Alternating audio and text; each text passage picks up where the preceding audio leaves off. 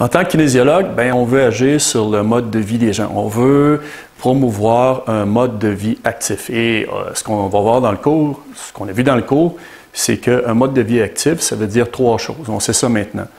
Une bonne condition physique, un niveau d'activité physique euh, journalière qui est adéquat, puis maintenant, ce qui est relativement nouveau, ben, on veut éviter le plus possible les comportements sédentaires.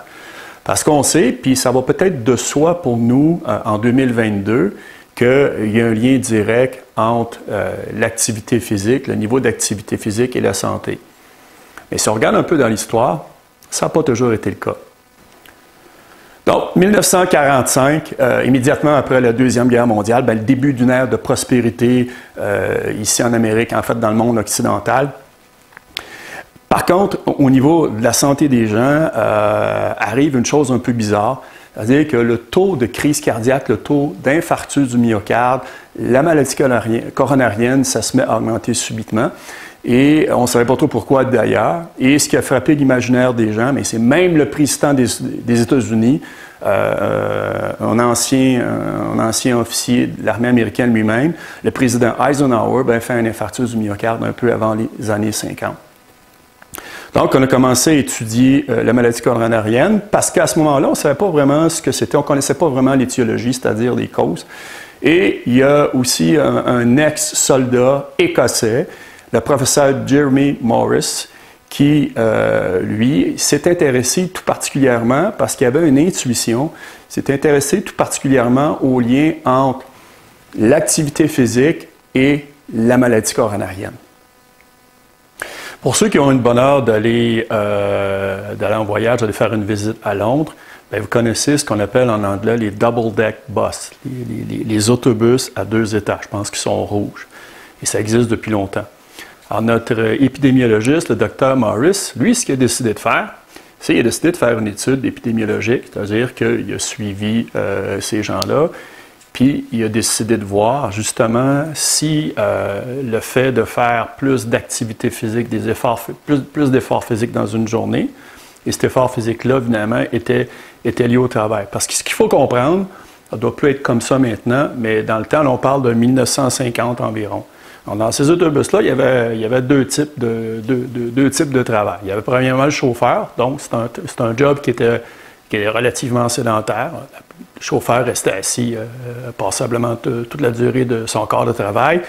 Puis il y avait euh, ce qu'on appelle en anglais les conductors, mais c'est pas un con, c'est pas quelqu'un qui conduit. Le conductor, c'est un, un préposé au ticket. Un préposé au ticket, ce qui faisait qu'une fois que les gens embarqués, euh, dans, l'autobus, ben, lui, il il les billets, ramassait les tickets.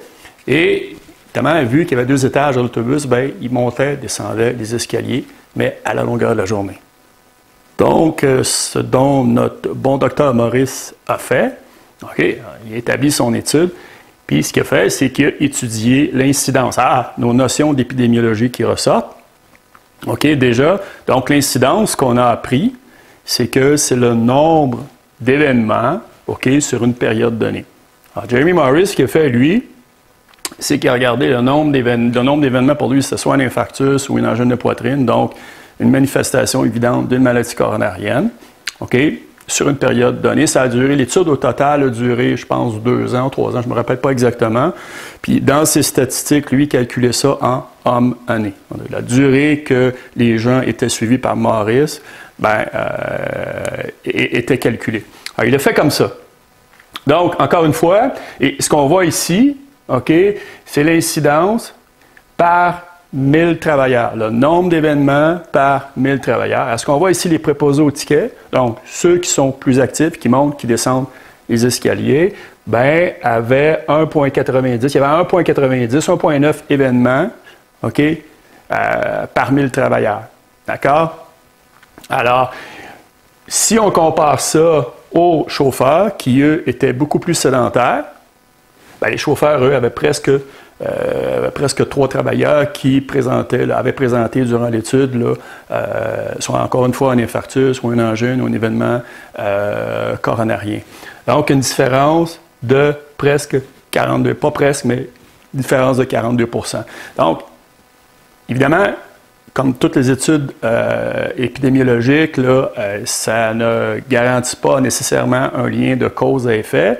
Mais à ce moment-là, 1950, OK, la science, la recherche, les techniques de recherche étaient un peu moins avancées, mais on pouvait déjà avoir une intuition qu'il y avait quelque chose qui se passait là, que probablement que l'exercice physique avait de fortes chances, d'amener une diminution, de la maladie coronarienne chez ces travailleurs-là.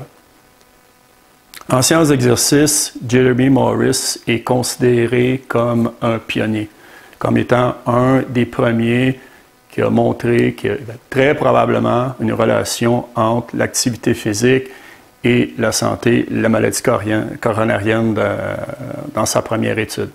Et la petite histoire nous dit que Jerry Morris, à peu près une dizaine d'années après, après, la publication de l'étude, a commencé à courir, a commencé à faire de la course à pied, et euh, Maurice a vécu jusqu'à l'âge de 99 ans. Donc, euh, il, a suivi, euh, il a suivi ses institutions jusqu'à la fin de sa vie, puis semblerait-il que ça a porté fruit.